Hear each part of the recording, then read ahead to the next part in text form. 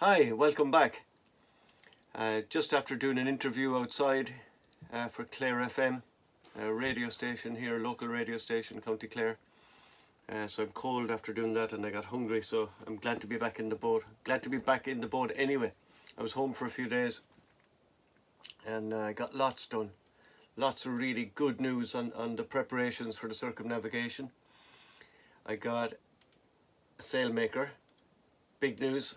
Can't wait to um, go more into that, but uh, I have a big sail company making all my sails. Be uh, talking more about that during the week whenever it is finalised. That's brilliant, big relief. Um, what else was I doing? had to make a list again. Oh yeah, I found a problem with the keel. Not with the keel, uh, uh, right at the end underneath the, on the shoe of the rudder. And I think I, there's a, a hairline crack. So I'm delighted that I um, that I soda blasted the hull. I wouldn't have known about that otherwise. So it's, it's easy to repair it now that I'm in the boat yard. Um, I, I made a video of that and I'll, I'll show you that shortly. I only found it not, not long ago. Uh, I have a mast fitting uh, to go on the mast for my inner forestay. Uh, that's easy enough to do, it's a handy job. Good to have an inner forestay. I have um, lots of other stuff. Oh, I got I got lovely presents. I got a. Uh, my mother-in-law sent me a beautiful torch, a head torch. Dankeschön, Katrina. um, I had lots of other. Uh, I'm going to try baking. I don't know if any of you have heard of damper. You know the Australian bread. I'm going to try make bread in a frying pan. Uh, see how that goes.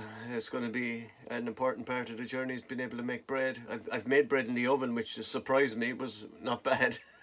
so the frying pan bread I'm going to try, even though my, my frying pan is square, so it'll be square damper. uh, I'm going to repack in the stern gland. Again, it's a, it's a basic job. You've seen it probably a lot of times, but I'm going to do that. Just take out the old packing, repack it and, and tighten it up. You know, it's a, it's a drip seal so that's about it. Um, lots of other interesting news, uh, sponsorship deals kind of happening and over the moon with that. Uh, so what else happened this week? Uh, as I said, I had a few days at home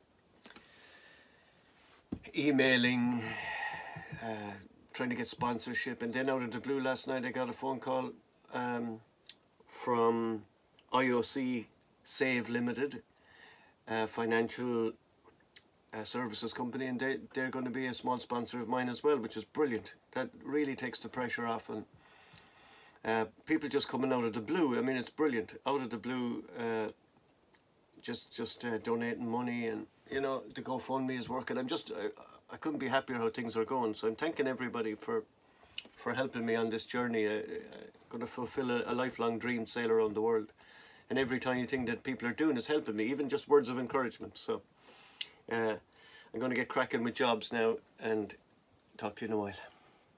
So I spent yesterday going through every part of the of the underside of the hull. Uh, one of the main reasons of, of getting the soda blasting done was so I could inspect everything, apart from having a lovely key to apply the, the anti-foul. Uh, so I went through everything, went through the skin fittings, the, the through hulls, everything. I, I, went, I went right through, through it. And what I did find was one thing right down at the end of uh, the skate, where the, where the rudder is hung. I'll show it to you now. So right down at the end, you can just see it there, there's a fracture. I presume she got a, a knock going astern at some point of her life. I don't know how uh, how serious that is, but has to be uh, has to be replaced. I need I need my rudder. On this side, I saw one somewhere. There's a slight fracture there. I'm going to clean that back better uh, and get advice. Anyone looking at this that has advice, welcome to, to share it. I'd like to hear but I'm definitely going to get uh, get that addressed anyway and seen to because everything else was good. Everything else was perfect, you know. So rainy day here in Kilrush today. So glad I found that. Uh, that's not something you want to break at sea, definitely not. So now's the time. Where is it? Here. Now's the time to to uh, repair it. While I'm out of the water, near all the um, there's a good guy here in Kilrush. I get him to to have a look at it, or get get a few people's advice and opinions on it. But definitely get it get it done. So I'm delighted now with that. Everything else was perfect. Everything else was hunky dory. All right. So, a friend of mine, Joe Conway, from Sailing and Cruising Ireland, making these leather pouches. He made one for me. Aren't they lovely? For the winch handles. I have it just inside the companionway. Just lean in, reach in and get it. People are being so generous. Um, sea Shepherd. Obviously my mast isn't done so I can't hang it yet but uh, Sea Shepherd sent me that. How cool is that? It's lovely isn't it?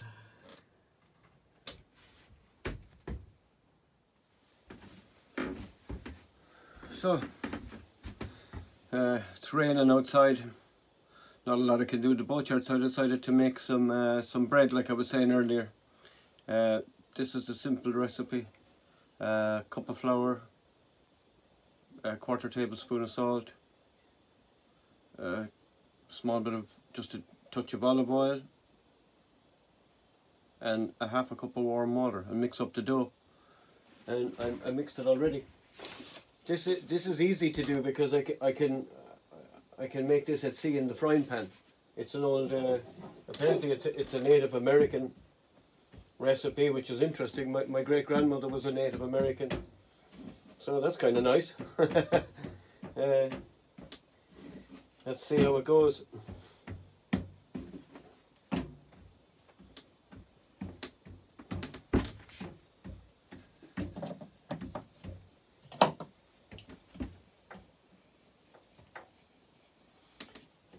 I'm going to flatten it out and lash it into the pan. Apparently you don't put uh, a lot of oil in the pan, you just you just um, put in a drop of oil and wipe it with a tissue so it doesn't fry, it bakes. And then you cover the pan and hopefully we'll have bread.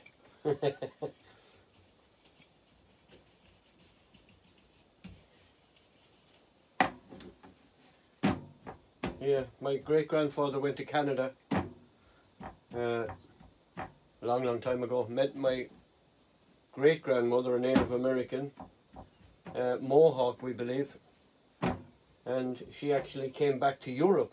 Probably one of the few Native Americans to come this side. My brother Dan has a lot of info. I can find out more about it. But it's kind of cool. And here I am making Native American bread. okay, let's go for it see what happens. Oh, I never heated the pan.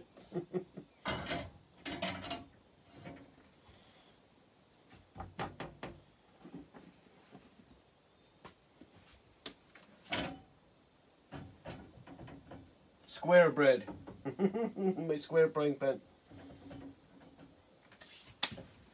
So, then apparently you give it full heat. One side. Full heat the other side then turn it right down, cover it, and let it bake. Kind of, uh, I think they call it a Dutch oven.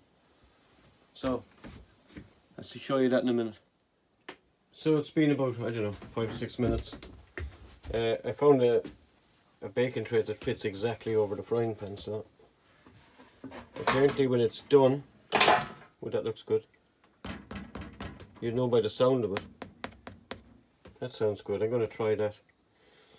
Actually, I wrote down the ingredients as well. It was one cup of flour, half a cup of warm water, a quarter tablespoon of salt, and two tablespoons of olive oil. So I think I left out the olive oil. Okay, let's try it.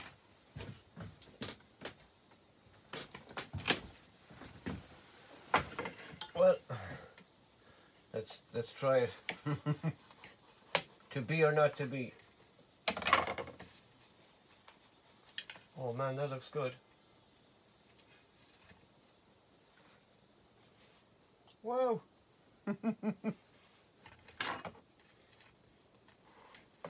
suppose. Oh, it's hot.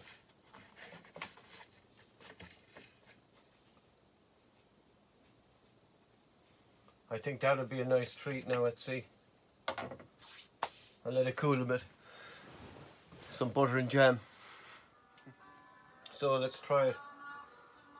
Bit of jam. I suppose you could have it with anything. Eggs and soup or anything, but a bit much butter.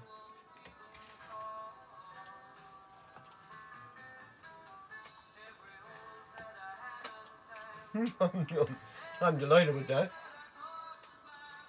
Mmm, that's really good.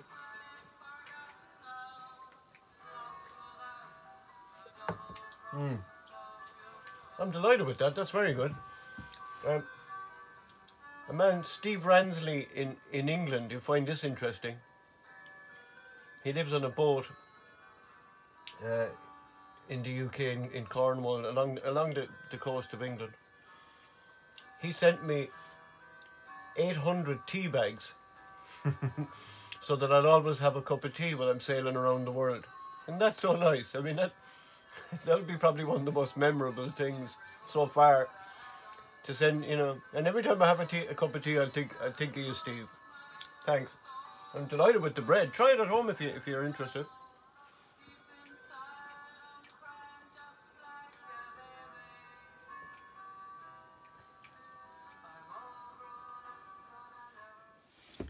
So I'm back inside. I I, uh, I showed the, the the bronze shoe on on the end of the rudder to an engineer. He came down and had a look at it. Uh, good news is the port side one uh, was a cast, uh, just a blemish in the cast. So when I sanded that, it went perfectly clear or, or, or smooth. It's gone. The one on the other side, he thinks is just a, a hairline. Anyway, it doesn't matter. Whatever it is, he's he's gonna he's gonna fix it. Whether it has to be replaced, it has to be replaced. I'm so glad I soda blasted the hull for that reason. I wanted to check everything in case, as I said in the last video, in case there had been repairs or like the last thing you want is is is, is the shoe that holds your rudder breaking when you're at sea because then eh, you know rudder you're in major trouble. So uh, I'm glad I got that so sorted. Uh, it's not fi fixed but uh, at least it, it, can it can be addressed. Um, I enjoyed making the braid. Uh, the, there's upsides to prepara preparation for a solo circumnavigation. That was one of them. I, I ate half the loaf of bread. um, I got it's just a short video this week. I, I the weather's bad outside. I, am not going to get. I'm not going drilling holes in the mast in, in that weather, and so uh, I'll video that the next day. And uh, so I hope you enjoyed watching that. If you do, uh, please uh, subscribe. You can tick a little uh, bell as well and you'll be notified every time I make a new video. Uh, if you want to have a look at my website, it's Peter Lawless. Uh, Solo Sailor will get it. There's a, a GoFundMe button there. If you want to donate, that'd be fantastic too. thanks, thanks for watching. Okay, all right. Bye.